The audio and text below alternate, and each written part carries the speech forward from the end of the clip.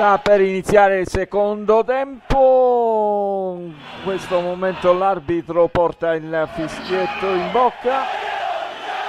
Ed ecco inizia il secondo tempo. Cernigoi al posto di Gomez per il Crotone. 0 a 0. Linea allo studio.